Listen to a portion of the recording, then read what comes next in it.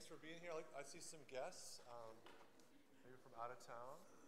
So that's great. Some parents and grandparents. And my name is Wally Brath. I, it's my uh, privilege to lead the worship arts program at Grace College, and we uh, we do uh, an end of semester recital uh, for our students, and you're going to hear piano and voice and guitar, percussion, strings tonight. So we're excited about that. It's always just awesome to see the progress of students. Um, kind of when they start the first part of the semester and just the progress that they make. And so it's, I love it. I just love, I love hearing them play their pieces. So let me pray for us and uh, then we'll get started.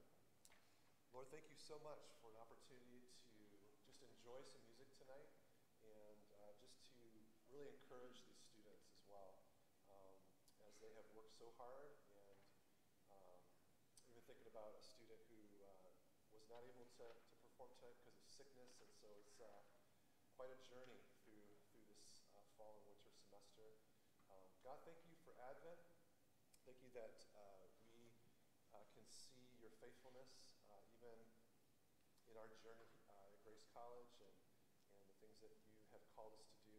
But we are uh, eager to have uh, your return. We're eager for you to, to really come and wrap up history as we know it. So even, Lord, as we worship tonight with these uh, songs, we, we just want to think about Christ and his imminent return. And uh, we just thank you for your good gifts. Uh, music is, is one of those good gifts. And so we want to just um, commit ourselves to tonight and pray that you get honor and glory tonight uh, through this recital. And pray in Jesus' name. Amen.